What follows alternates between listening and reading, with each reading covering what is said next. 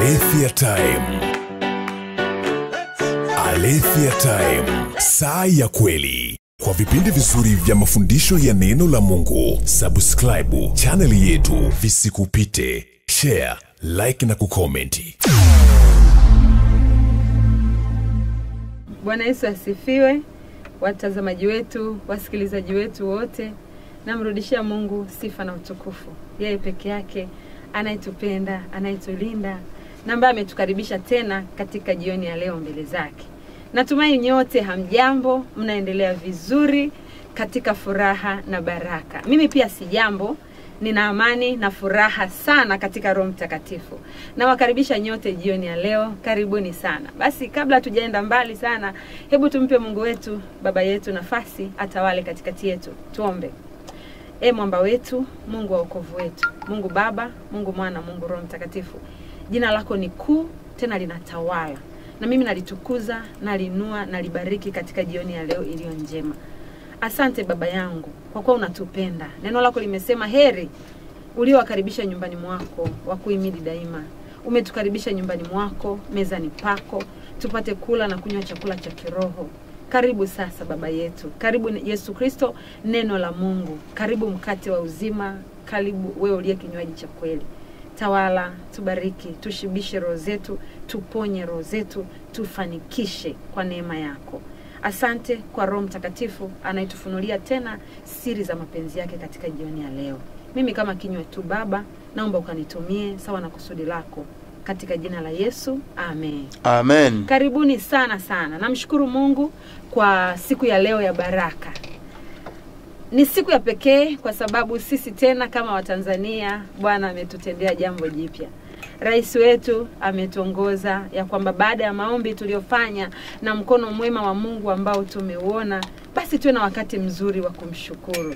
Ni jambo jema kumshukuru Bwana tena na kuliimbia jina lake mtakatifu wa Israeli. Amen. Haleluya. Amen. Namshukuru Mungu kwamba amesikia amesikia kwa kadiri ya mkuu wetu wa nchi alivyotuongoza alivyotupa taarifa na katika furaha ya moyo wake ametuongoza tena kama watu wa mungu kwamba tuliomba tulimwamini mungu tuliliitia jina lake tulitamani atende kwa habari ya ugonjwa ambao ulikuwa umeingia kwenye nchi yetu lakini si nchi yetu tu tumesikia na mataifa mengine lakini kwa ukarimu na fadhili zake hali yetu ni nzuri.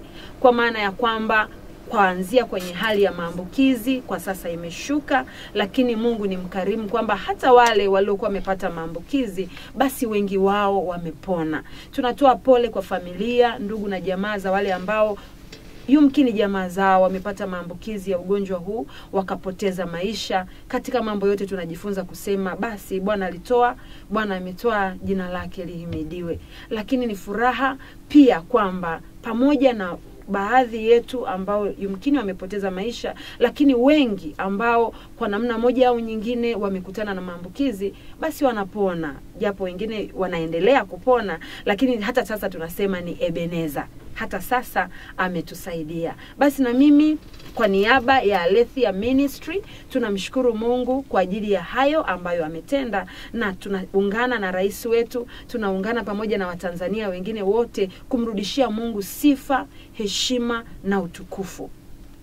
Tunatambua kila mtu ana imani yake, ana ana mtazamo wake, ana jinsi yake aliomuomba Mungu wake katika hili. Lakini sisi alethia tunamwamini Mungu wa mbingu na nchi, Mungu Baba, Mwana na Roho Mtakatifu, yeye ambaye alimtuma mwanawe Yesu Kristo akaja duniani na akasema sasa huyo ndiye uzima wa milele sawa na kitabu cha yohana sura ya kumi na saba mstari wa tatu unasema basi uzima wa milele ndio huu wa kujua wewe mungu wa pekee wa kweli na yesu kristo uliyemtuma. Kwa sisi kama alethia huduma ya kikristo tukimwamini bwana yesu tunakuja leo mbele za mungu kwa njia ya yesu kristo ambaye ndiye njia na hiyo kweli na uzima maana Alethia maana yake kweli. Basi tuna yesu kristo tunamwambia mungu baba yetu mungu wetu mwamba wetu asante. Lakini tu haitoshi hivyo. Tukiwa tunamjua zaidi mungu na neno lake tunajua kwamba pia roho mtakatifu ndiye mwombezi wetu. Imeandikwa kitabu cha warumi sura ya nane mstari wa ishirini na sita na ishirini na saba ya kwamba kadhalika roho naye hutusaidia udhaifu wetu. Maana sisi hatujui kuomba jinsi itupasavyo. Lakini roho mwenyewe hutuombea kwa kuugua kusikoweza kutamkwa. Na mungu aijuae nia ya roho aweza kutusikia kwa kuwa roho huwaombea watakatifu kama vile apendavyo mungu. Katika mapito haya katika jambo hili ambalo limepita kwetu roho mtakatifu alikuwepo kutuombea alikuwepo kutusaidia. Hatujui tuombe vipi hatujui tuombe nini hatujui tuombe wakati gani lakini alikuwepo kutuongoza. Sisi kama lethi anakumbuka mwezi wa pili hata haya yote hayajawepo mungu alituongoza kuomba. Na tukatamani atu, atuongoze tuombe vipi alituongoza kwamba hebu ombeni sawa na kitabu cha amosi. Amosi akaliombea taifa la mungu. Baada ya kuona kuna mapigo yanatumwa aliyaona katika jinsi ya roho. Kwanza ukatumwa moto walitumwa nzige. Amosi sura ya saba inatueleza hivyo na baadaye akaona janga la moto. Akamwambia baba samehe. Yakobo ni mdogo atasimamaje?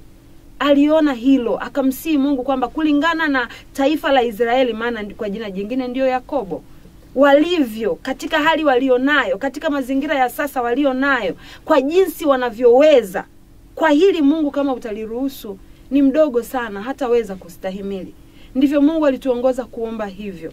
Tuliomba tulisimama na tunasimama bado katika neno hilo hata leo lakini ninamshukuru mungu kwamba ndivyo roho mtakatifu alitupa neema ya kuomba. Kumwambia mungu tunakusihi ikiwa tunaona hali au mwenendo wa ugonjwa ulivyo. Kuanzia mataifa makubwa ugonjwa ulianzia china umesambaa mataifa mengine mataifa ya mashariki ya kati mataifa ya ulaya mataifa uh, upande wa amerika kusini na kaskazini na hatimaye afrika. Lakini tumeona jinsi mataifa hayo makubwa ambavyo yanaendelea kuhangaika na kutafuta majibu pamoja na teknolojia yao pamoja na fedha zao pamoja na majeshi yao pamoja na uwezo wote walio nao kisiasa kiuchumi hata kijamii lakini bado wanahangaika. Mungu akatuambia mwombeni yakobo maana ni mdogo nchi kama tanzania nchi zetu za kiafrika nyingi katika changamoto tulizo nazo na katika udogo hata wa kiuchumi wa kiteknolojia na mambo mengineyo basi mungu tulimsihi kwa jinsi hiyo.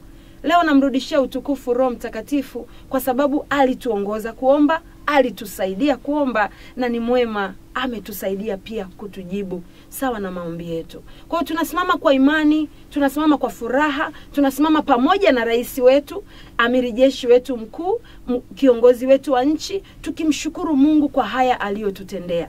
Tunamshukuru kwa ajili ya rais yeye mwenyewe kwa hekima na maarifa ambayo mungu ameendelea kumpa ujasiri ambao amemjaza maana japokuwa anayaona maji lakini bwana amempa neema ya kutembea juu ya hayo maji. Ijapokuwa anawaona maadui lakini amesimama kama kalebu na yoshua waliosema ya kwamba na tuende na tutamalaki uvuli wao umeondolewa rais wetu ameiona korona pamoja na vitisho vyake bado kwa maneno mengine najaribu kuelezea ni kama amesema uvuli wake umeondolewa. Hebu watanzania msiwe na hofu. Hebu msitetereke. Ni ugonjwa ni kweli. Yumkini hata sasa bado upo ni kweli. Tuna hatua tunazichukua za kujikinga na kuendelea kuji, ku, ku, ku, kujiweka sawa ili kujiepusha na maambukizi. Lakini tusitembee kwa hofu wala tusijione mapanzi mbele ya korona na korona ijione kwamba ni jitu. Ndiyo maana kwa maneno fulani aliwahi kutumia akasema ni ugonjwa mdogo. Labda si mdogo kwa macho ya wengi kwa sababu umetisha lakini tukitazama kwa macho ya imani na ujasiri na tukimtazama mungu mkuu tunasema hili ni jambo jepesi sana machoni pake. Mungu wetu mungu wa kweli mimi leo namtukuza mungu namrudishia heshima na sifa kwa sababu tulikuwa hapa tuliomba tuliamini tulitiana moyo tuliimarika katika bwana na leo tunakuja na wimbo wa sifa. Na ninaomba niwatie moyo wa kristo wenzangu ndugu zangu ya kwamba tunapoenda kwenye shukurani inaongeza nguvu tunamwongezea bwana nguvu za kutenda. Kitabu cha zaburi nasema mpeni enyi wana wa mungu mpeni bwana utukufu na nguvu. Mpeni utukufu na nguvu. Tunajua mungu wetu ni mkuu mwenye nguvu na uwezo wote lakini maandiko yanaposema mpeni utukufu na nguvu ina maana mwanadamu anaweza akamwongezea mungu nguvu. Naomba niulize hilo swali hebu tujiulize je mwanadamu anaweza akamwongezea mungu nguvu? Mungu mwenyewe ni tunasema ni almighty ni mwenye mwenye mwenyezi. Yeye ni el shadai mungu mwenyezi. Ni mwenye nguvu zote. Omnipotent. Lakini maandiko yanasema mpeni nguvu. Nitatoa tu mfano wa kawaida wa kibinadamu. Ya kwamba wakati ambapo nikiwa ninaongea habari za mathalani uh, una mtoto nyumbani. Kijana wako miaka kumi na tatu kumi na nne alafu uh, unahitaji akusaidie kubeba mfuko wa sukari umetoka kununua wa kilo ishirini umefika pale nyumbani aliokusaidia kubeba kama ni kubeba au ulikuwa umebeba kwenye gari umeshusha. Kimsi, kwa, kwa hali ya kawaida yumkini nguvu zake zisitoshe peke yake kuubeba ule mfuko. Lakini ukimtia moyo kijana ukaambia kijana wangu safi umeshakuwa sasa. Uko form gani? Form 1 form 2 safi mimi najua huu mfuko unaweza. Anaweza akajitutumua akaubeba hata kama ulikuwa mzito kwa sababu umempa maneno ya kumpa hamasa maneno ya kumtia moyo ya kwamba katika jambo hili unamwamini umemwekea imani na uko una, unajivunia kwamba ataweza. Anaweza akabeba hata kama hajawahi kubeba ndivyo na kwa mungu. Tukienda kwa mungu wenye mioyo iliyonyong'onyea tusio na imani tusioona kama anaweza kufanya jambo. Kwa vile tu machoni petu sisi wanadamu tumeliona gumu tunamfanya mungu anashindwa kutenda. Hapo ndipo imani huwa inachukua nafasi yake. Ya kwamba yoyote amwendeaye imempasa kuamini yuko na kwamba huwapa thawabu wamtafutao tunapomwendea mungu kwa imani ya kwamba tunajua cha kwanza yupo hata kama hatumuoni hata kama kwa macho yetu ya mwili hatumuoni lakini tuna hakika yupo maana imani ni uhakika wa mambo yatarajiwayo tena ni bayana ya mambo yasiyoonekana, ya- ule uhakika cha kwanza lakini pili ile imani thabiti kwamba atafanya huwapa thawabu wamtafutao huwajibu huwatendea mema. Tukimwendea mungu kwa namna hiyo tunampa nguvu tunampa sababu tunampa kila namna ya mungu kuonyesha na mimi nitende kwa sababu huyu amenionyesha imani ameniwekea trust ameniwekea tumaini lake hapo ndipo tunampa mungu nguvu. Alethia time ndio kipindi chako na mimi bishop florence ndaki nipo pamoja nawe kuku kukuletea mambo mazuri mbele za bwana. Uh, time kipindi chetu kinaendelea kutoka living water fm na namba zetu za mawasiliano ni kukumbushe tu wewe ambaye yumkini hujaziweka vizuri kwenye rekodi zako basi tuna mitandao ya vodacom na tigo. Vodacom ni sifuri saba nne tatu sifuri thelathini sifuri ishirini. Na tigo ni sifuri sita saba sita mia sita sitini mia moja hamsini na tano. Kumbuka mafundisho yetu na vipindi vyetu hivi tunaviweka kwenye mfumo wa picha na tunakuletea vizuri kabisa kupitia mtandao wa youtube kwenye akaunti ya jina la bishop florence ndaki. Lakini huyu bishop ana mambo mengine mazuri waweza kuyapata kutoka facebook kwenye akaunti ya jina hilo hilo bishop florence ndaki. Au instagram ni bishop underscore florence ndaki. Neno la kweli ndilo linalokuletea kutoka kwa yesu kristo aliye njia kweli na uzima. Na sisi alethia ministry tunapatikana jijini mwanza makao yetu makuu maeneo ya nyamongolo mtaa wa mbugani. Um, ni nyamongolo kona lakini ni ng'ambo ya pili mtaa wa mbugani lakini ukiwa pale barabarani huwezi kupotea kabisa. Karibu sana tunaendelea kumshukuru mungu. Kama watanzania katika siku hii njema ya baraka. Nilikuwa naongea habari ya kumpa mungu nguvu. Shukurani inaendelea kumpa mungu nguvu. Inaendelea kumwonyesha mungu kwamba hata kama sijafanya asilimia mia yumkini hizi nilizofanya wanaendelea kuona kwamba ni mimi. Wanaendelea ku, ku, ku, ku, kunishukuru kwamba nimefanya mungu si mungu wa kutu let down. Kama sisi wenyewe huwa sio watu wa kuangushana. Mungu wetu anatupenda ni baba. Tena kitabu cha yeremia sura 31 mstari wa tatu anasema nimekupenda upendo wa milele. Na ndio maana nimekuvuta kwa fadhili zangu. Upendo wake mungu wetu ni wa milele. Sisi tunapoenda kwa shukrani leo kama watanzania ninaomba tusiwe na mawazo kana kwamba hatumjui mungu tusiwaze sisi wakristo tusiwaze kama watu wa mataifa wasio na matumaini na neno la mungu. Maana tunasema mbona mbona hatuambiwi? Mbona hatuoni kama ukweli ugonjwa umeisha? Mbona bado mbona bado? Haijalishi bado. Ni kwamba imani si ni hakika? Basi tuna hakika kwamba huu ugonjwa bwana ameshafuta. Bwana ameshafanya wedha macho yetu ya mwili yanaona leo au inaweza ikachukua muda lakini tunajua ya kwamba mwenye imani akiuambia mlima ng'oka ukatupwe baharini ule mlima unang'oka. Maadamu tu hakuona shaka. Yesu kristo akapita akataka matunda kwenye mtini. Alipouangalia akakuta hauna tunda. Yesu akaulani. Imeandikwa tu akaulani akapita akaondoka. Mitume wake wakatazama na wakaona ni kweli kalaani lakini hakuna kilichotokea wakaenda wakalala kesho yake wanarudi kuendelea na huduma. Wanapopita ndio wanakuta ule mtini umenyauka. Petro anashtuka. Anaambia bwana ule mtini uliolaani umenyauka ni kweli angalia. Yesu anasema ah hii mbona haikuwa ya kushangaa? Tangu jana nilipoutamkia yalishatokea tangu nilipo ulaani habari ya wenyewe kunyauka ilishatokea lakini kwenye macho ya mwili kwenye jinsi ya mwili inaweza ikachukua muda tangu mungu anaruhusu muujiza mpaka unathibitika kwenye macho yetu au ule muujiza tunaushika na kumiliki. Ndiyo maana bwana yesu akaendelea kwa kuambia kwamba lolote sasa mtakaloliomba katika kusali kwenu nyie aminini tu kwamba yamekuwa nayo yatakuwa yenu. Kitabu cha marko sura ya kumi na moja unaweza kujifunza vizuri kabisa haya maneno nayoyaongea mimi naamini watanzania leo tunaenda kama bwana yesu alivyotuelekeza. Ya kwamba yoyote miaombayo katika kusali aminini mnapokea. Tunaamini na si tu kwa sababu tumeona dalili lakini hata kama dalili bado tunakwenda kwenye shukurani. Kumwambia mungu maadamu tumeomba tunaamini yamekuwa na yamekuwa yetu.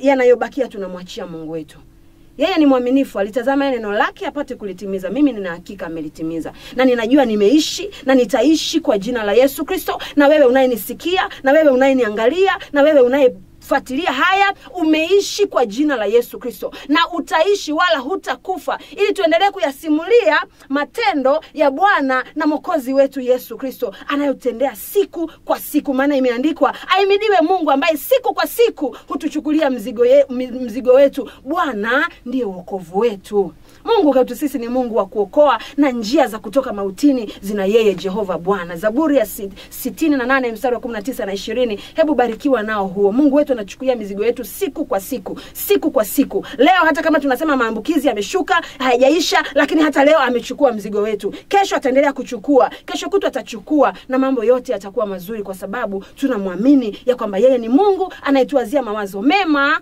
wala sio ya mabaya kutupa amani furaha na tumaini katika siku zetu za maisha hapa duniani. Jina lake lihimidiwe na libarikiwe. Kwa hiyo mimi naomba ni ungane na rais wetu niungane na watanzania wote tumshukuru mungu kwa haya aliyotutendea. Tunasema jina lake lihimidiwe. Jina lake libarikiwe. Tusifadhaike sana tumeona wengine wana njia mbali mbali lakini nikwambie ni kama ni kama tunavyosherekea pasaka. Kuna ambao wataenda makanisani wataabudu kuna ambao wataenda kujirusha kwenye mabaa na nini lakini pasaka haibadiliki kuwa imeitwa pasaka na yesu ageuzwi kwamba eti ha, anashindwa kufufuka. Mimi naamini neno la mungu linasema uh, twajua ya kuwa bwana hawasikii wenye dhambi. Bali mtu akiwa mcha mungu na kutenda mapenzi yake amsikie huyo. Kwa wale ambao tunaamini katika yesu kristo na tunajua asikia sauti zetu tuzipaze kwa shukrani. Tutakuwa mawakili wazuri wa kuiwakilisha tanzania kwa furaha na baraka kabisa mungu akubariki rais wetu mungu akubariki waziri wetu wa afya mama umi mwalimu. Mimi siku zote nasema wewe ni mama yetu mama wa nguvu mama shujaa. Najisikia fahari kuwa mama pamoja na wewe katika taifa hili la baraka. Unafanya kazi njema na tuna- tunajivunia pamoja nawe. Lakini hongera wizara ya afya kwa maana ya wasaidizi wako wote na wadau wa afya kwa maana ya wote ambao wamekuwa wakiendelea kuhangaika. Kuna kuna wa, moja kwa moja katika sekta ya afya, lakini kuna wasio wa moja kwa moja, ila katika hili wamekuwa wakifanya kazi vizuri sana mchana na usiku. Mimi nasema nawapongeza nyote na ninawatakia heri na baraka utumishi huu ambao mnahangaikia afya za Watanzania wenzetu na mnahangaikia amani na utulivu na na, na, na, na, na, na hali njema ya taifa letu. Ni utumishi mzuri, ni utumishi kwa ajili ya Bwana. Mungu awabariki, Mungu awatie nguvu na Mungu mwema awazidishe. Basi hebu kwa sala fupi tusoge mbele za Mungu, tumpelekee shukurani zetu. Tuombe sote. Mfalme wa falme, Bwana wa uweza, Mungu mwaminifu, wewe ni Mungu wa kuokoa. Tena Jehova Rafa ndiyo jina lako, Mungu tuponyaye. Baba yetu, Mungu wetu, unayesikia kuomba, neno lako linasema kwa kuwa umesikia maombi yangu, nitakuita siku zangu zote. Na mimi leo Baba, ninasogea kwako, nasogea kwa furaha, nasogea kwa shukurani. Sante kwa sababu umesikia sauti zetu wa Tanzania. Sante kwa sababu umemheshimu rais wetu, maana naye amekuheshimu wewe. Sante kwa sababu hujamwacha aibikie matumaini yake Baba. Sante kwa sababu umesimama kuumeni kwake na kumtegemeza katika vita hii, katika hali ngumu ambayo taifa limepita. Lakini hata hapa tunasema Ebeneza, sante kwa ajili yake, sante kwa kinywa chake ambacho nimekisikia kikikurudishia utukufu na kusema ni wewe ndiwe uliyetenda haya. Tunaungana naye Baba tukisema asante. Sante Baba yetu kwa sababu umesema hata mmoja tu akisimama palipobomoka, wewe uko tayari kwa ajili ya kuponya mji. Baba yetu, asante kwa rais wetu ambaye amesimama palipobomoka. Sante lakini kwa ajili yetu wa Tanzania wengine, kwa jinsi zetu, kwa sababu tulisimama naye na ahadi yako ni amina na kweli ya kwamba wawili wenu au watatu watakapopatana kwa jambo lolote watakaloliomba watatendewa na baba yenu aliye mbinguni. Baba yetu uliye mbinguni, umetutendea katika hili, umeliponya taifa letu, umewaponya Watanzania, umetuponya na ugonjwa huu wa COVID-19, umetutetea Baba, na hata hapa tunajua Mungu uliyeanzisha kazi njema utaitimiza. Mimi nakutukuza, mimi nakuinua, mimi nakushukuru nakushukuru kwa sababu Mungu hukutuacha tufadhaike wala tufedheheke. na kushukuru kwa sababu umetushika mkono kwa mkono wako wa kuume na umetutegemeza. Nashukuru Baba yangu hata kwa waliopita katika wakati mgumu. Wengine wameugua na kuuguza, wengine wamekaa kwenye karantini, iwe ni majumbani au ni mahospitalini. Wengine Baba Mungu wamepita katika hali ya maumivu na mateso ya ugonjwa huu lakini sawa na neno lako ya kwamba ulitupitisha motoni na majini, ila ukatutoa na kutuweka panapo wingi. Leo Baba, tunaleta shukurani kwa sababu umetutoa na kutuweka panapo nafasi. Jina lako liimidiwe, liinuliwe na libarikiwe. Asante Baba yangu kuwa hatukustahili, hatukustahili sisi utusikie, kwa sababu kwetu hakuna haki wala kwetu hakuna utakatifu, lakini umetazama damu ya Yesu inenayo mema kwa ajili ya Tanzania hiyo ukaisikia. Umetazama dhabihu ya msalaba iliyotolewa kwa ajili ya Tanzania, hiyo ukaiheshimu. Baba yangu, narudisha utukufu na sifa na heshima kwako. Sante Baba yangu kwa kuwa ulikuwa nasi tulipoomba, tulipofunga, ukatuambia namna hii haitoki hata kwa kufunga na kuomba. Si kufunga kwetu ndio kuna kufanya utende, lakini ni kwa sababu tu unatupenda na kuheshimu maombi yetu. Baba, nashukuru kwa kutupa kibali na kutusikia na kutujibu. Tunaamini haya yamekuwa yetu. Tunaamini kwamba uliyeanzisha hii kazi njema utaendelea kuisimamia na kuitimiza hata mwisho. Tunakushukuru kwa sababu Mungu, mataifa yote yanaiona nuru ya Tanzania, yanaujia mwanga wa kuzuka kwa Tanzania. Baba, tunashukuru kwa sababu tunaondoka kama Watanzania na kuangaza maana nuru yetu imekuja na utukufu wako umetuzukia. E mchungaji wetu mwema, toka mwanzo wa mwaka ulituahidi ya kwamba utakuwa mchungaji wetu na kwamba tujapopita kati ya bonde la uvuli wa mauti hatutaogopa mabaya, kwa kuwa upo pamoja nasi. Ni kweli tumepita kama taifa, tumepita hata watu mmoja mmoja katika bonde la uvuli wa mauti lakini Baba Mungu nakutukuza kwa sababu tumeona ukiwepo Imanueli, Mungu pamoja nasi, na kweli upo pamoja nasi. gongo lako na fimbo yako vimetufariji. Mimi leo narudisha utukufu kwako Mungu wetu uliyetuambia jaribu alikuwapata ninyi isipokuwa ni kawaida ya, wana, ya wanadamu wote, lakini Mungu ni mwaminifu ambaye hata acha mjaribiwe kupita mwezavyo. Pamoja na lile jaribu atafanya na mlango wa kutokea ili muweze kustahimili. Baba, asante kwa sababu umefanya mlango wa kutokea ili tustahimili. Nalitukuza, nalibariki, nalisifu jina lako. Nasema asante, e mwamba wetu. Maneno yetu hayatoshi, hayatoshi kuleta shukurani zote, lakini nakuomba Baba yangu, siku hizi tatu zipate kibali machoni pako. Watoto wako tunapopaza sauti zetu tena kwa furaha, kwa shukurani, naomba Baba yetu ukatujalie zikawe kama uvumba mbele zako, zikawe harufu ya manukato mbele zako. Uridhie na uzidi kuibariki Tanzania, uzidi kuiponya nchi yetu, uzidi kuiponya nchi yetu Baba. Haitoshi tu kuponya miili yetu, maana miili yetu ipo siku itakufa na kurudi mavumbini. Lakini Baba, nakushukuru kwa sababu wewe Mungu uliye Mungu wa kuokoa, upendi mtu yoyote apotee, bali wote waifikirie toba. Nami Baba yangu ninainua Tanzania nikiomba uwaguse wa Tanzania, wape kuijua iliyo kweli Baba, wape Watanzania kuijua nuru ya Injili, wape Watanzania kukujua Yesu Kristo, Mungu wa pekee wa kweli, ili wakugeukie, maana wewe ndiwe uzima wa milele. Wape Watanzania Baba kutembea katika njia zako, maana ulituambia ikiwa watu wako tuta tulioitwa kwa jina lako tutajinyenyekesha na kuomba na kuutafuta uso wako, lakini haitoshi, ukasema tukiacha na njia zetu mbaya. Baba, ninaomba kwamba utujalie Watanzania kubadilika, wakina mama, wakina baba wa Tanzania, vijana kwa watoto wa Tanzania, wazee wa Tanzania, wote tukugeukie, e Mungu wa kweli.